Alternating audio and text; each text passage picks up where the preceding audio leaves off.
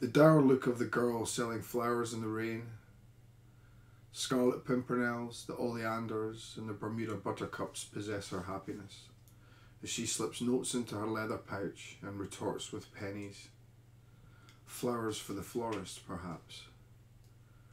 The cute girl in the newsagents made me nervous as I reached past her for polos.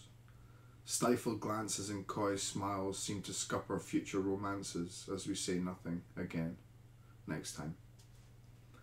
The busker isn't there today to add a little colour to an otherwise dreich day. Maybe she's washing her hair. The plebs that commandeer the wooden bench at the junction are ever present.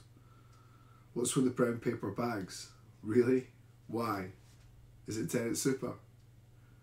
Shell suits and high tech gutties, white lightning and chip butties. I like the calf. The food's good, the waitress is a delight, and I can flick through the star. The usual, please. Coffee. The savvy builder Steve is a gent. You can really tell a man from what he has to say. Another utterly unique, yet normal day. By the way.